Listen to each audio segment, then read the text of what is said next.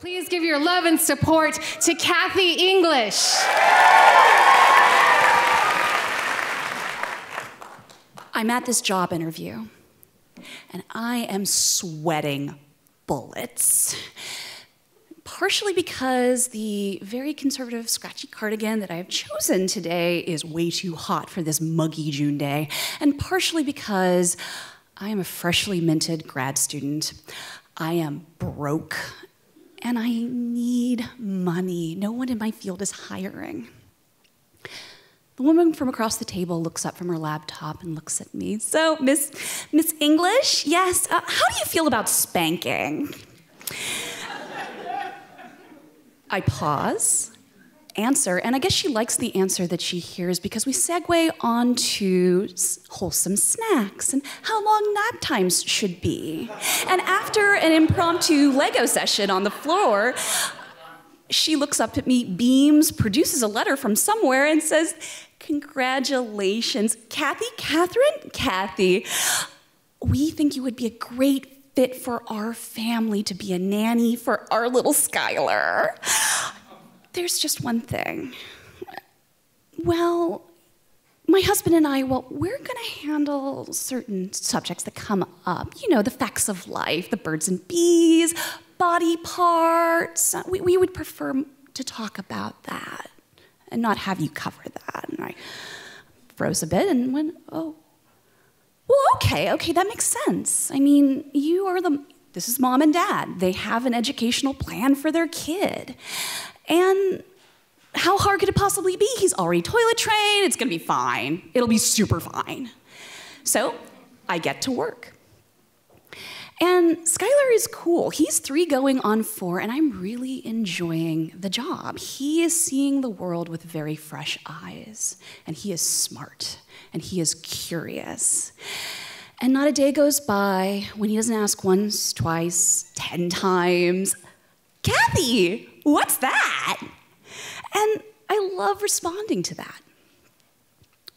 One day we go to the zoo get up bright and early, pack an enormous bag full of sunscreen and snacks and bottled water, anything this we could possibly need on our journey. And we go to the zoo to see all of the animals that he has learned about and is very excited to see. The noonday sun is hot, and we uh, scoot on into an indoor enclosure. I'm fishing around in my bag looking for snacks, looking for something to drink, when I realize that something has gone horribly wrong with my day because there's some dude behind me who immediately, oh, damn! I stop and I look up and the bronze plaque in front of me says tree kangaroo, and the little critter inside of it is this brown, fuzzy, cute eyed thing with a boner that's like three quarters the size of its body. If this thing was on Tinder, if this thing was on Grindr, its phone would blow up constantly. I was impressed. How is it still conscious and gripping the branch? I don't know. I need to get the hell out of here right now. And Skylar, it's too late. I have my hand on his shoulder. He's already looking up into the cage, makes eye contact with that erection, looks at me.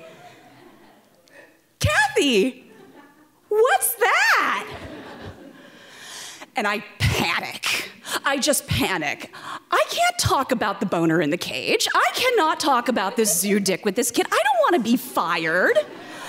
What am I gonna do though? It's really there. I mean, there's just no working around the boner. I I learned something though. And I have a solution in my head because as Skylar has been learning from me, so too I have been learning from him. And selective blindness is huge for a kid who's three going on four. Skylar lost his shoes in front of the door stoop for 45 minutes because he didn't want to leave the house.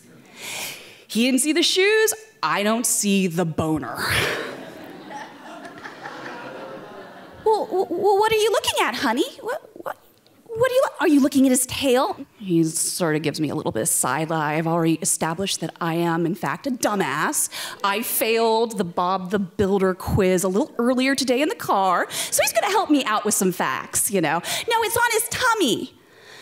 Well, you mean his little hand that's grabbing the branch? No, it's not that. Well, like his breakfast, his, his paw. Is that what you were talking about? Mm. Oh, hey, look, tarantulas. Let's go over there, shall we? And he kind of takes it because spiders are cool in his world. And I breathe a little bit of a sigh of relief because I didn't have to mention penis. My job is safe. I have kept to the contract. But almost immediately afterwards, I'm hit by this kind of icky feeling inside of me. And a little voice pops up. Wow. So $14 an hour was all it took to break a promise to myself. Cool. See, my parents were decent folks. They're good people. But they were really, really uncomfortable with a lot of the facts of life, too. And when I had questions, they would often ignore things that were very front and center. And when I was little, it was frustrating and confusing. And when I was older, I kind of hated them for it.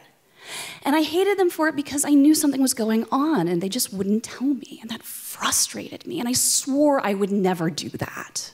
I swore when I grow up, I wasn't going to be one of those adults.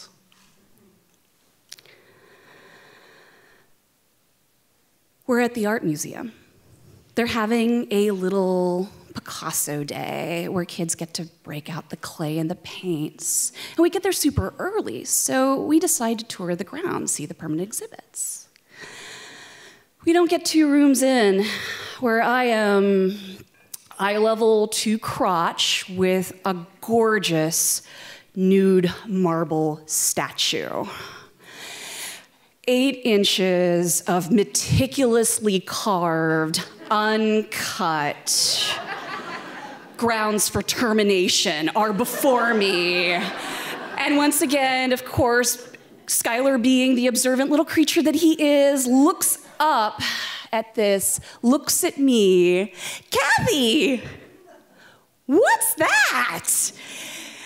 And I, I, go back to my norm thing, but he is prepared this time. I am obviously really slow on the draw, so he's gonna help me out with this one. Cathy, his penis does not look like my penis. Why does his penis not look like my penis? What, what, what, why is it different, Cathy? I continue with this. Well, I don't know what you're looking at, honey. I let the selective blindness take over, add a little selective deafness too. Are you talking about his thumb?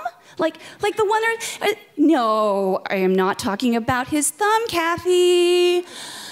Are, are you talking about what, like his hair? N- no, Cathy, I am not talking about his hair. I am talking about his penis. Oh, hey, look, it's time for your class. Let's go, let's go. And I can feel his frustration. And He's easily distracted because he's a little like that. A new day comes, and we're off to the YMCA. Skylar loves swimming. He's an active kid. This is a great way to burn off energy. So we head off. But at three going at, uh, on four, he needs help in the locker room. So we both scoot on in into the ladies' locker room. I get him dressed in his swim trunks, and I begin to sort of dress myself.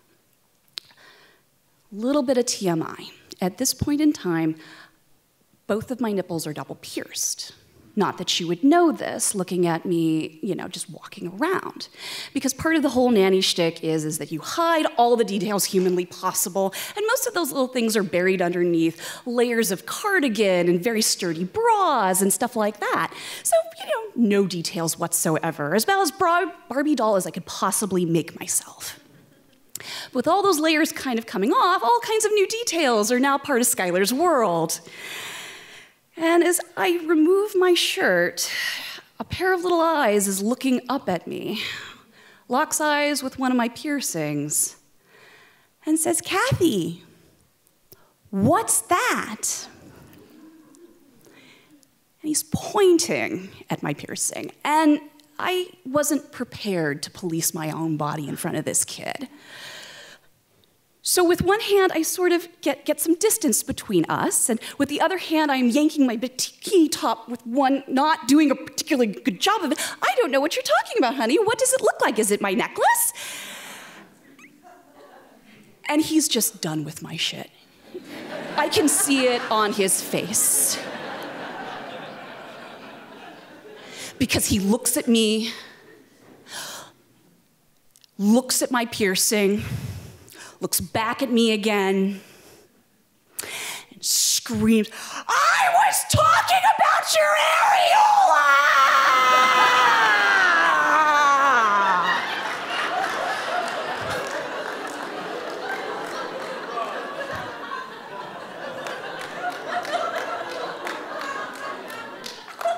Who the fuck taught him that word? I didn't. God, I hope it was the parents, because if it the, the kids he has play dates with, I, how am I going to explain this? This could get me fired. I, everyone in this locker room is staring at me. I can feel the shame, the red spreading from my cheeks down my neck. Sky, by the hand, let's go swimming! Let's go swimming! Yes! And the cool chlorinated water helps with the flush. But after that, nothing was the same. Because while I knew it all along, this was the moment where Skylar kind of figured it out. I was one of those adults. You know, ones you can't talk to about stuff, who aren't going to answer your questions with a real answer. And I stopped hearing, Cathy, what's that?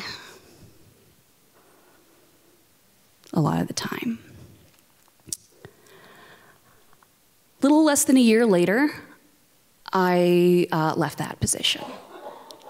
Like a lot of nannies, I left because there were better opportunities, better pay, things that I really wanted to do with my life.